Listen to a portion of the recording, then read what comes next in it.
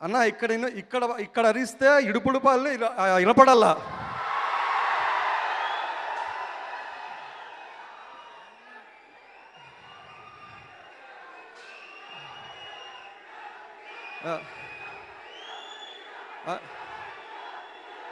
అన్నా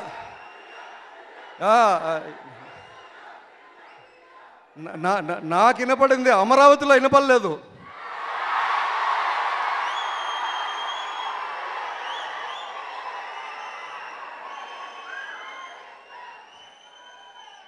ఈయన అంతగా వినపడలేదన్నా. ఒక్కసారి.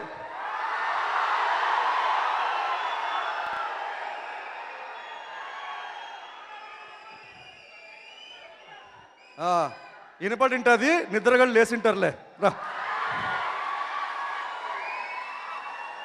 అన్నా అన్న ఇప్పుడు నేను సి నాకు వైఎస్ఆర్ గారికి ఏ సంబంధము లేదండి.